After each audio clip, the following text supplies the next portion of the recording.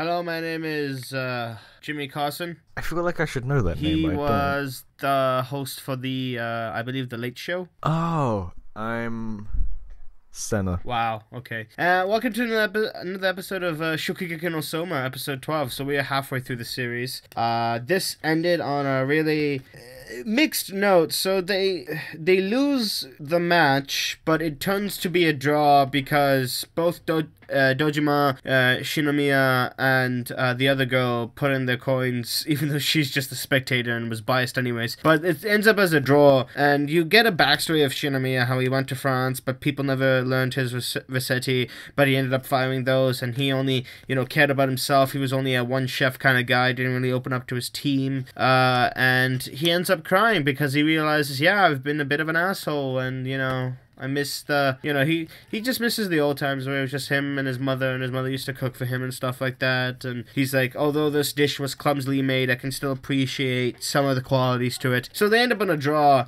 And um, although Megumi's happy that she didn't get expelled with Soma, Soma's really angry because he really wanted to win that match, but he lost. So now he's like, okay, I gotta hone my skills even more, man. I gotta defeat them the next time I challenge them or something. So uh, it's just um, it's all just a very weird and mixed episode. Sam, what'd you think? It was good. It was a fine episode. Yeah, it was perfectly fine. Did you predict that it was going to be a draw? Fact, uh, no, but I'm glad it was.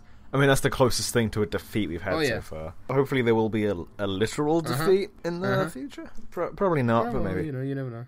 I like the fact that with the teacher, he's a dickhead, but at least they show you why he's Yeah. a dickhead. He, I'm not a big fan of why people when a character is a dickhead, but there isn't a good reason for it. So I'm glad they reason. delved into Yep. that. It's all good. I like the one of the uh the judges, the blonde guy, how he could speak was beautiful. Oh, Yeah, the chin guy. He, yeah. His like dialect was like weird. Yeah, you gonna say anything? Not really, no. Yeah, it was just a good episode, eh? Yeah, it was perfectly Yep. fine. Uh, so um, we can't wait for the next episode. Uh, maybe it's gonna be a new challenge of sorts, something about eggs. And I like at the end of the end card, it's like 600 yen for uh, a Megumi plush doll. And I'm like, yes. And I saw people in the comments for the episode. They're like, yeah, I want to buy it when it comes out. If the company ever releases it, I'm buying it all. I'm like, oh, that's that's cool.